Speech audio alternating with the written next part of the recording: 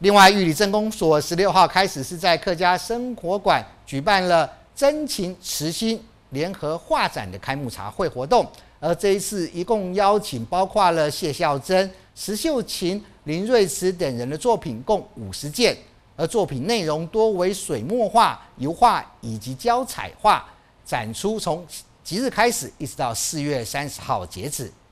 玉里镇公所四月十六号在客家生活馆展出举行真情慈心联合画展的开幕茶会。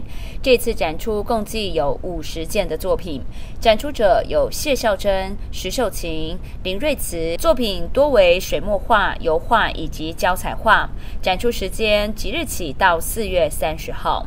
呃，我想三位一个呃国画墨宝，那一位是油画，一位是呃。做彩瓷，哦，那呃，我想，呃，一个非常不简单的哈。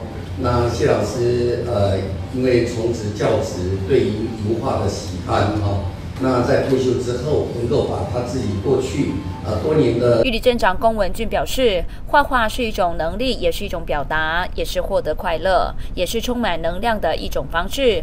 借由画画疗愈工作职场上的心灵，也诚挚欢迎更多喜欢玉里的艺术家能够前来创作。记者高双双玉镇采访报道。